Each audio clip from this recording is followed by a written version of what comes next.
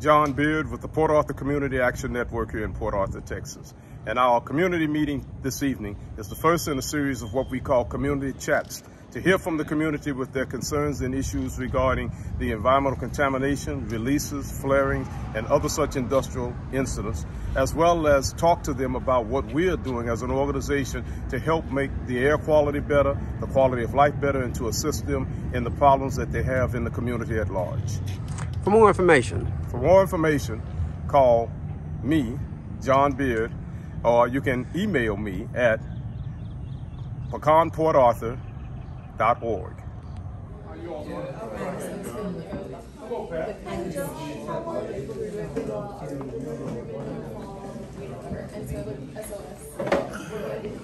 So this is the first of a, what will be a series of meetings, at least hopefully held every other month.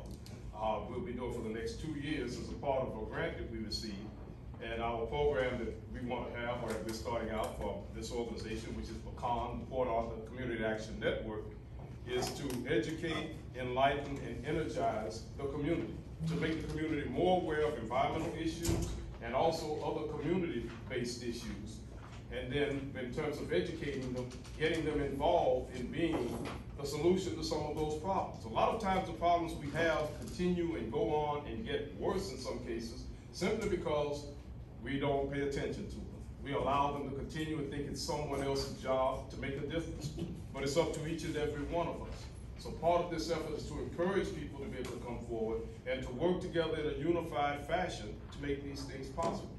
And that is why several years ago, 2017, I helped form this organization to help the community. It's about community action, just what the name says. But also, if you look on that card, you'll see it's hyphenated with PA-CAN.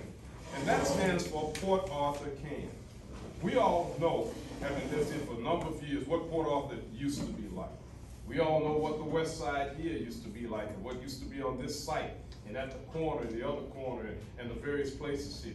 And while those things can probably never come back the way they were, it doesn't mean that we can't live and be more effective. It doesn't mean that we can't have a safe, clean living environment.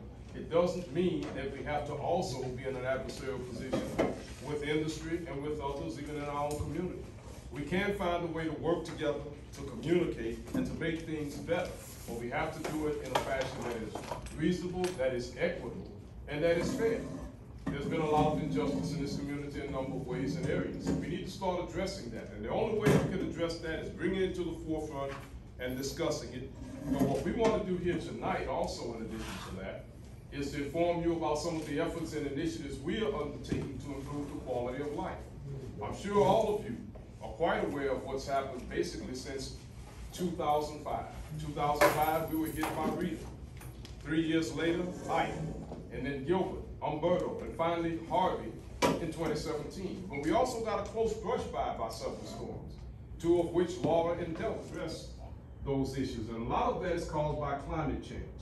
It's caused, as I believe, and other scientists have concluded, by some of the man-made things we do, especially the burning of fossil fuels. But it's also affected by other things we do. Those forest fires that we hear about in other parts of the country and the world, they contribute to it.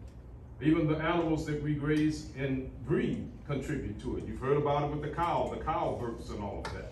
But all of these things are things that we can control, we have to understand them and understand how they affect us, and most especially here in Southeast Texas because of the petrochemical industry. You probably know about the fact that Chevron Phillips was cited by the U.S. Environmental Protection Agency, and now they're going to have to spend up to $180 million to upgrade the facility to prevent those things from happening. Those agencies like TCEQ and the EPA to help us improve the air quality. And that's why you'll see on one of the screens that we're going to show that there are some numbers you can call. We have a model. When you smell, see, or hear something, do what? Say something. You look at the flaring that is going on today with Chevron Phillips, recently with Motiva and others.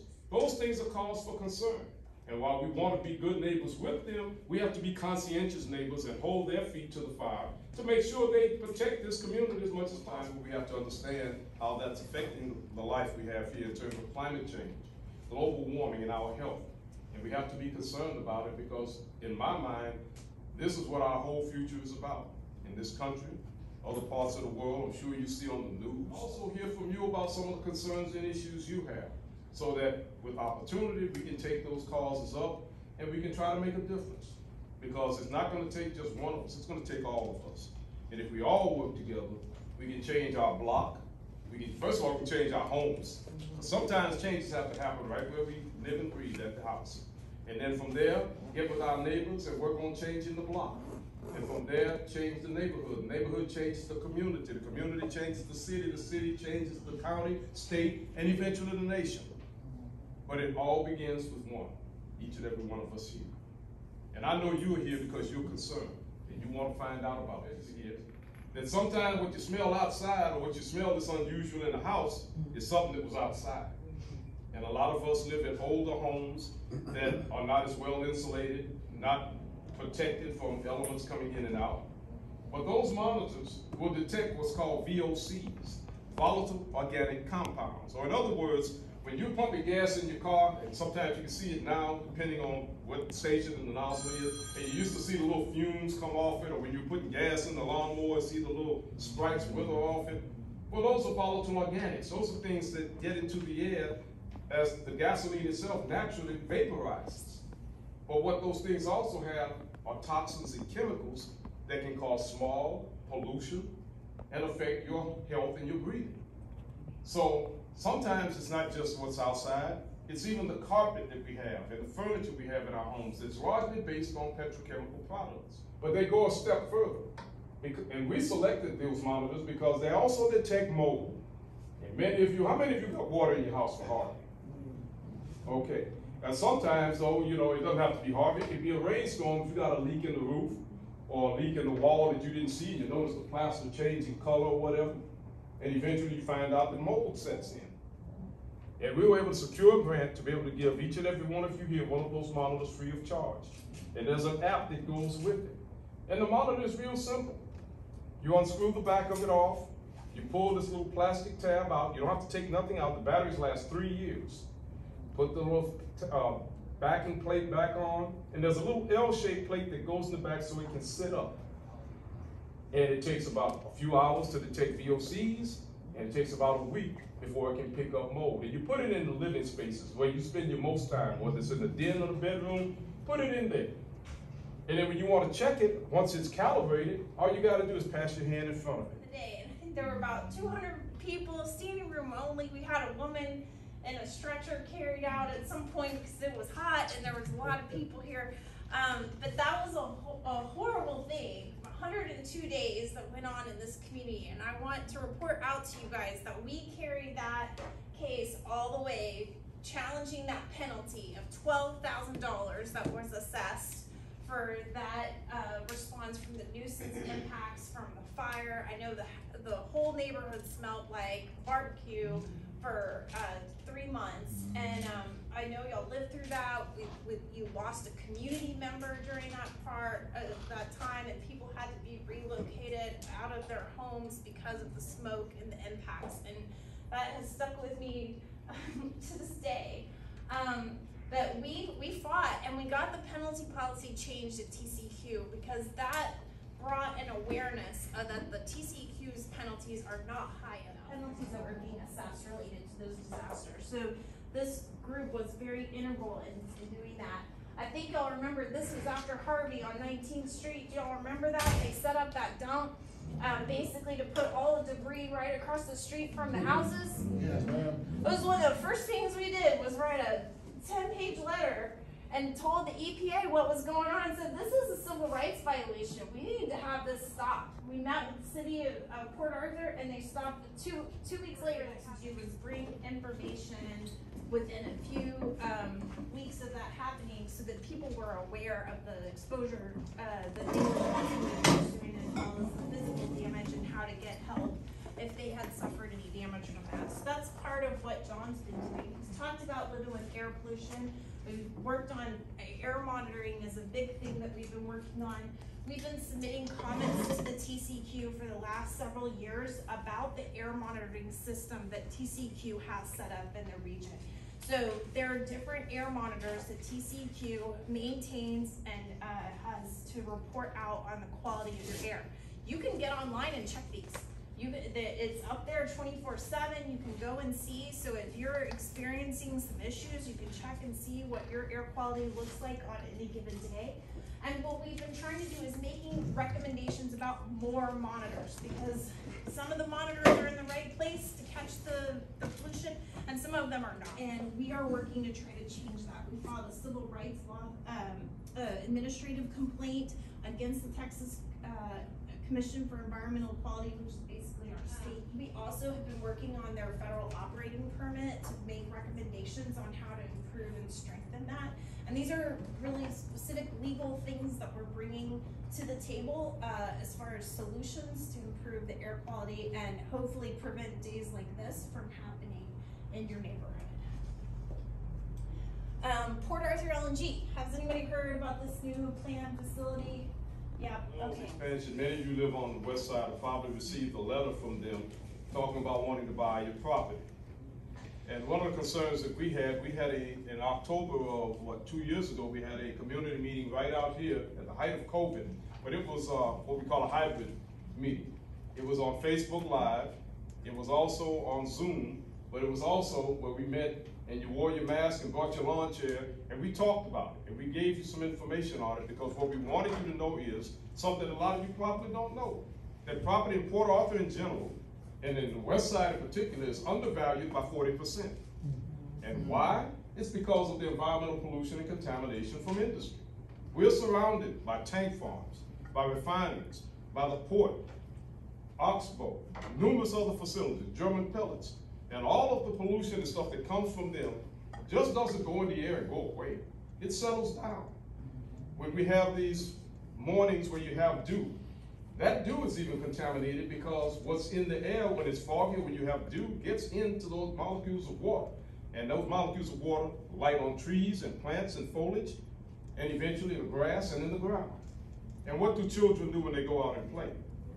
They play in the grass, they play on the ground, they fall, they get up. So you're being exposed to these things every time through your clothing and even through your skin. I've talked about a lot of times just recently, we were doing that tour today, about growing up on the west side, on, right down there on Welford Avenue. A lot of y'all who live from the west side know where that's at. And I remember we had fig trees in the backyard. And many a morning, this time of year, I'd go out when I was a little boy, mom, and we'd go pick figs. And I love to climb up in the tree and get my figs. And sometimes, you know, like kids, we like to do it. Kids anywhere with their fruit trees, we want to eat the fruit right off the tree, fresh as can be. Sometimes we want to pick those figs that way. But mom always said, don't eat them right there, take them in the house, we'll wash them. Because of the coke dust that we get on it coming from Great Lakes and the other sources. And petroleum coke, and that coke dust is carcinogenic. That means it can cause cancer. It is labeled by the EPA as a hazardous material. But it's in the air we breathe. It lights on our houses. There was a picture earlier you saw where it was on someone's car. It sent me pictures of it. So we're exposed to these things. But in dealing with the Valero expansion, they want to buy up some of these vacant lots in neighborhoods, and as they said, for, you know, beautification help the area. But I think it's to expand their reach across what we call the dump, across eighty-two. They don't simply want that. They want to be able to use it either to expand their facility or as a lay-down yard or even as a parking lot. Well, for those of you who live on the west side by the old Texaco tank farm that's been taken over, we've had some problems with that through their business. But we don't know what the purpose is that Valero has, but what we did in having this meeting was to inform you to make sure you get the proper appraisal for your property's value and don't leave any money on the table. Well, like one lady, lady told me, she had her property evaluated and was told that it was worth forty thousand dollars. Hmm. So she got ready to go and talk to Valero. And in the course of that, she said, well, I tell you what, I, I- want eighty for my property. Market where the cost has been depreciated because of environmental contamination. So, she, they, the company said to her, well, no, that's, uh, that's, that's too high. And what we have to have in this community is recompense. It's not asking for a handout or anything like that. But what we want is a fair, level playing field in which to live and to operate. To make sure that we're treated just as fairly as someone else who lives on the other side of town or doesn't live here at all. We need to be treated fairly. So we have to stand up for ourselves and speak to those things and demand those things. And I believe in, in, in many cases that rather than go against a community that stands strong and together, industry would rather work with them and help those communities. And I have to say, that industry doesn't do enough. I had one of the captains of industry tell me one time that, well, we give to the United Way. That, that says a whole lot about what they think about Port Arthur and our community. But we're not charity case. That is this. The whole city is a membership, every community. We represent people on the west side. We've represented people on the east side off of Nineteenth Street. We represent people in El Vista Vista Village with regard to the flooding and the things that have happened with that. What we want to be able to do is just what you see here. We call a meeting, and we're gonna be having these meetings on a regular basis. Want y'all to come. But not just come yourself, bring a friend or a neighbor, and talk about the things we We have a couple community meetings coming up on uh, on Blue Marlin next month. We're really concerned about the impact this proposed deep water project will have on, uh, Sabine Lake. Does anybody go out and recreate on Sabine Lake on a boat or go fishing? The lake right over here. They're basically gonna plan to build a pipeline for Nederland that goes under Sabine Lake all the way out to a, uh, deep water port in the Gulf of Mexico. And then it's gonna service these giant ships, they're called VLCC, very large crude carriers, to, again, export oil and gas products, uh, uh, overseas. Um, we've got upcoming community meetings about this where you can learn more next month and how to get involved.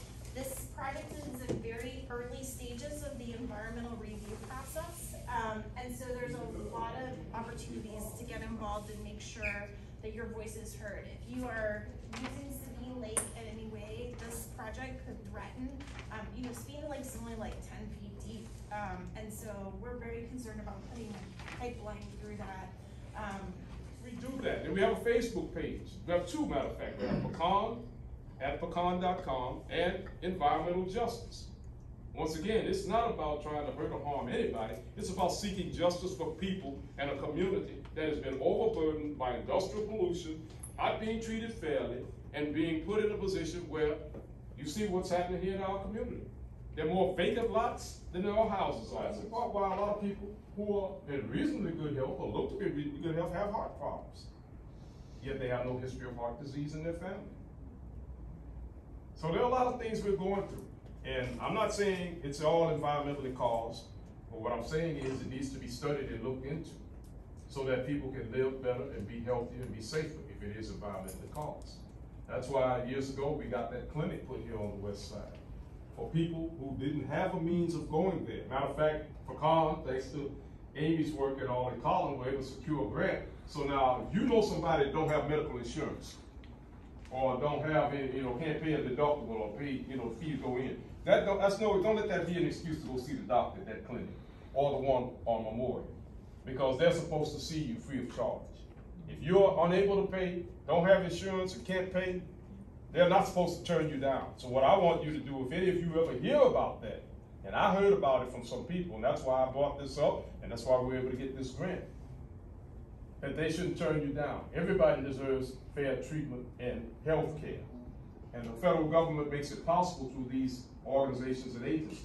And I'm just thankful that we were able to secure four hundred thousand dollars to help write down that cost. Or you can call the regional office for TCEQ in Beaumont. It's right there in Beaumont. And that number is 409 898 3898. 409 898 3838. You have the after hours number too? Yeah, you can call back too, and it will work. But you can also go online on your computer. And the good thing about it is you don't have to give your name. Now, if you want to give your name so they can call and contact you back and tell you what the results are, they'll do that. But we got a couple other solutions for you too. Maybe you don't want to call a government entity. Who trusts the government nowadays, you know? Mm. But we gotta trust somebody. You can also do something that Amy helped put together and with uh, another, with Georgetown University, with Georgetown, called Environmental Nuisance Reporter, E N R. Environmental Nuisance Reporter, you can go online to the website, and you can put all the information in. And it's totally confidential. They will contact the agency, the agency will not contact you, and they will keep you informed as to what goes on and what's happening. And it's been many a times, we've been able to get action on these plants with the flaring and all, because we sent this information to them. Once again, if you say nothing, everybody thinks it's okay, it's all right. You gotta speak up and speak out. And I know ain't none, none of y'all in here I know of, not the type to sit and hold your tongue if something's wrong or you ain't been treated fair. Sometimes, yeah, we get a little reluctant, but you don't have to be by yourself. I'll let you take it from here. Yeah, so one thing, uh, Lone Star Legal Aid has coming up is um, a workshop on ports, uh, port communities, uh, to fill out information about different port impacts. And since y'all have the Port of Port Arthur right over here, get the Port of Beaumont up the way, um, there's a lot of impacts from the, the activities and things that are going around these ports that are gonna be discussed, from railroads to trucking, to air pollution and different emissions. Um, and one of my colleagues has put together a, a five-part series. It's gonna be like every Thursday at six o'clock. It's gonna be virtual, so you can register online, um, and sign up, watch it from home. Um, we'll also have these all recorded and put up on our website for posterity and future viewing, and if you like. Um, but it should give you a really good, uh, understanding of different issues that come up, uh, living near ports um, you know, from the German pellets issue where we had the fire to other facilities that help uh, support the port in a nice letter over to the Beaumont office. They're in the process of investigating and that information then gets rolled into the complaint that the they're doing, and hopefully a penalty will result from that event. Right? They'll get a notice of violation. There'll be um, the emissions associated with that event will be documented, and, and a proper fine will be assessed but that community impact information of I had a headache or I didn't feel well or I had to stay inside, all of that helps the agency assess how what that penalty Thank is. you, and Yeah, I'll do today. PUC. Um, so yeah, today uh, TCEQ had a hearing on the Sunset Commission. I, uh, they're up for uh, well, the Sunset Commission had a hearing about TCEQ. Uh, there's a sunset process for all state agencies that they go through every 12 years.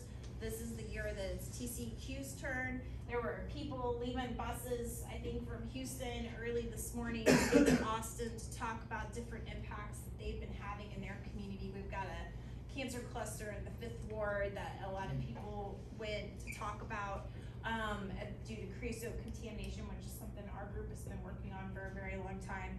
And, and getting the, the people to share what it's like to live in these communities near these facilities hopefully encourage improvements at the regulatory agency. And part of that sunset review process is to analyze everything that's going on at the agency and make recommendations to improve it. In addition to that, you can submit written comments yourself to the P, uh, to TCEQ as well as PUC. That's the Public Utilities Commission, that's the guys that regulate electric bills and all. Whenever those bills go up, or we hear that city council's gotten a request from Entergy to increase electric rates, you have an opportunity to speak to that, not just the city council, but to the regulatory agency of the state that approves it. Because if the PUC don't approve a rate increase, they can't charge you and me. We need to start speaking up about that, and I'm gonna use that as a bit of a segue to the recent thing we heard about, about our water bills, so stay tuned, we'll be looking into that, so maybe I'm putting, putting another one on your plate about these water bills, because, uh, that's, that's something that needs to be definitely addressed, and it's, we'll talk about it. But, yeah, the Public Utilities Commission has that sunset review also, and for those of you who don't know, what they mean by sunset is, you have to determine by your comments whether that, com- that committee or that organization can continue or else ride off into the sunset. You know what that meant, no Wild West, that means you're going away for good. So, that's the same way the government looks at it. They review these organizations to see to it, see whether or not, and the public determines whether or not they should exist, whether they're really serving you. And if TCEQ isn't serving us because, as we did saw with German pellets, they give measly penalties. They only investigate three out of every one hundred complaints. Mm. That's a pitiful mm. record.